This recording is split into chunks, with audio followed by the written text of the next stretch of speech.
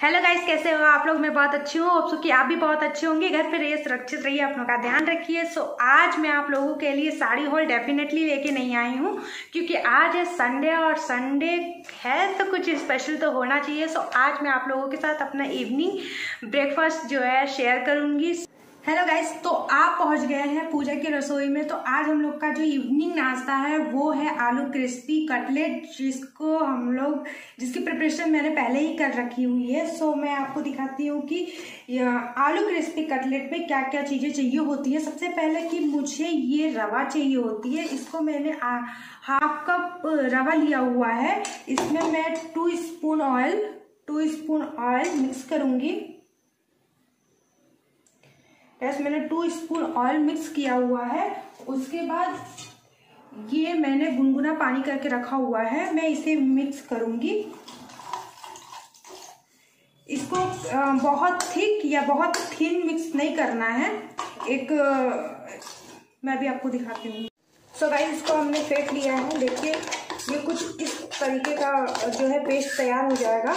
ना कि बहुत थिन ना ही बहुत थिक ये कुछ इस तरीके का पेस्ट तैयार हो जाएगा और इसको हम पंद्रह मिनट के लिए रेस्ट पे रख देंगे।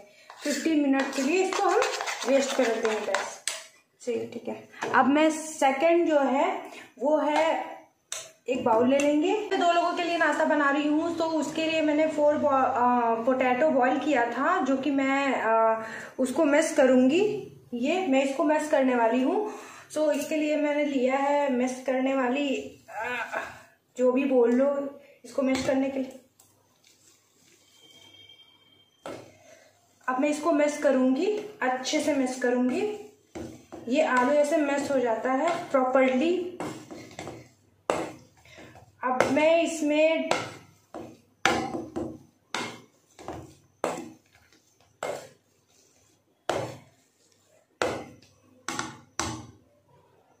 आलू प्रॉपरली मैश हो गया है। सो अब मैं इसमें डालूँगी ये chilli flakes half spoon spoon chilli flakes half spoon black pepper ये मैं मिक्स करूँगी हाफ़ गार्लिक का पेस्ट और स्वाद अनुसार नमक.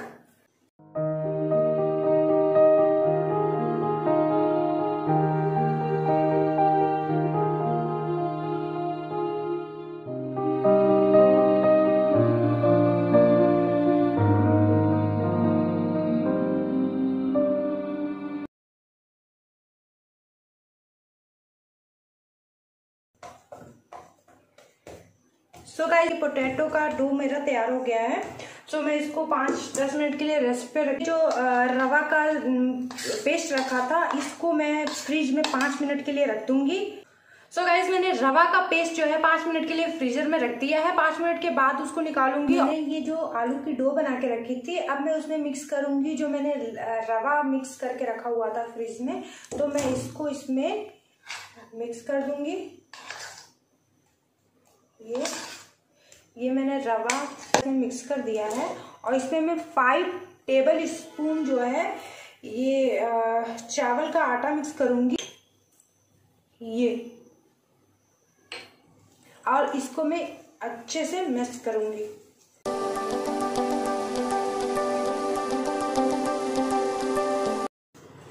ये गाइस स्पून से अच्छे से मैश तो होगा नहीं, इसलिए मैंने अपने हैंड का यूज़ किया हुआ है। बहुत ही सुंदर इसकी स्मेल आ रही है गाइस बहुत सुंदर.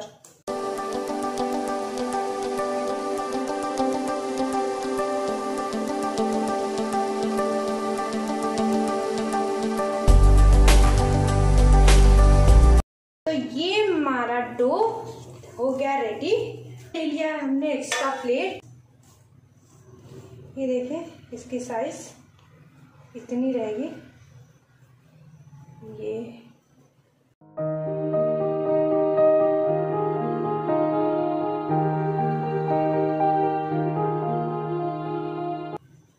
इसको डेफिनेटली जो है गाइस इसको ज़रूर नाश्ते में बनाइएगा। ये नाश्त इवनिंग नाश्ते के लिए बहुत ही मस्त है। बहुत इंजॉय करेंगे आप इसको बनाते समय। ये देखिए, मैंने ये छोटे छोटे इसे पिनिया तैयार कर हमने गैस पे पैन को रख दिया हुआ है और फ्लेम को मीडियम कर देंगे। फ्लेम को मीडियम कर देंगे और मैंने ऑयल इसमें ऑलरेडी डाल दिया हुआ है। सो अब ये थोड़ा वार्म हो जाए, काफ़ी ज़्यादा वार्म हो जाए तो मैं इसमें पिनिया एक एक करके डालूँगी। याद रखिएगा ओवरलैप ना हो, क्योंकि अगर ओवरलैप हो जाएगी तो आपको चलाने में दिक्कत होगी। सो चार पाँच दस, ना, चार पाँच करके ऐसे। अब हो गया है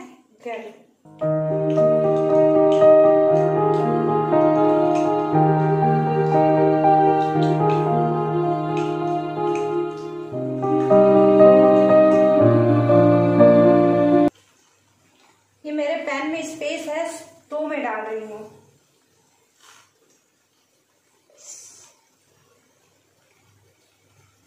तो थोड़ी देर ऐसे ही रहने देंगे, उसके बाद हम थोड़े समय के लिए इसको ऐसे चलाएँगे।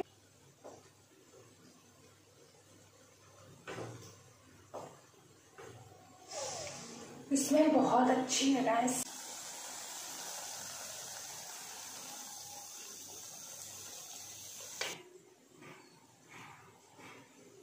इसके साथ हमने लिया हुआ है सेजवान चटनी। ये देखिए गाइस सेजवान चटनी।